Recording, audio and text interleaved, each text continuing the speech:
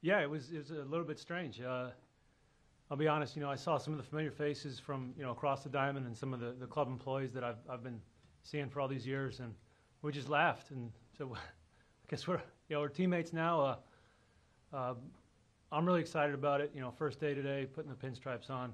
Uh, it felt good. It was really, really exciting uh, to fulfill, you know, I think every little boy's dream to, to play for the Yankees.